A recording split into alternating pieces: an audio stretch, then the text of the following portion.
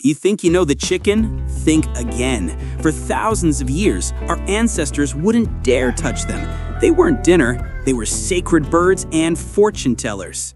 This history starts in Southeast Asia 8,000 years ago. The driving force for their spread wasn't hunger, it was cockfighting. This bird was prized for its symbolic value. Julius Caesar even noted the Britons considered eating it contrary to divine law. So, when did the switch flip? Archaeologists traced the first major economic use to the Middle East around 400 BCE. But the real revolution was engineering. Egyptians mastered artificial incubation, and a critical genetic change around 920 AD finally allowed the hens to lay eggs year round.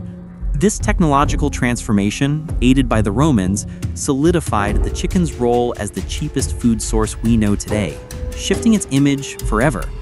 The most successful animal on Earth succeeded because we admired it first.